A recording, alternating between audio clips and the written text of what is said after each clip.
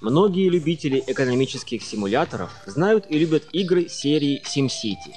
Перед нами одна из них, которая носит простое название The Sims. На этот раз в ней надо трудиться не над большим городом, состоящим из бесчисленного множества зданий, а над одним единственным домом. Сначала вам нужно выстроить жилище, используя весьма детализированный проект, оборудовать его комнаты, обставить мебелью. Затем вы начинаете следить за тем, чтобы домочадцы не голодали, вели достойную жизнь и были всем довольны. Трудная задача, не правда ли? Главное, помните, что в центре этой игры всегда находятся люди.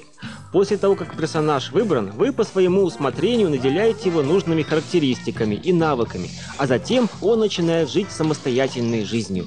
При этом вы все равно остаетесь руководящей и направляющей силой для этого виртуального человека. В этой игре нет проигравших или выигравших. Это игра – симулятор жизни.